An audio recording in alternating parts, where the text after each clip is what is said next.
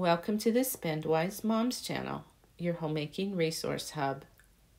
We recently got some eggs from someone that my husband knows at work. I assumed that they were fresh, but I thought I would try the egg test to see if they were. You start by filling a glass full of water. Leave some room at the top since the egg will displace some of the water.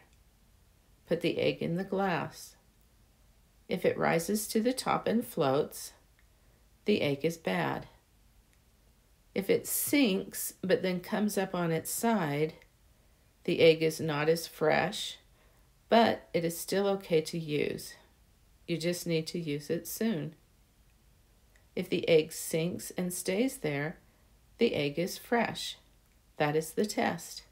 Unfortunately, I had to get rid of over half the eggs that I got, but I'm glad I did the test to see if they were fresh.